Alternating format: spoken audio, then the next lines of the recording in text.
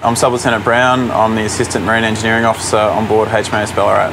Marine engineer looks after a number of things on the ship. They look after anything from the propulsion to the auxiliary systems on board. Uh, they look after the electrical generation on the ship.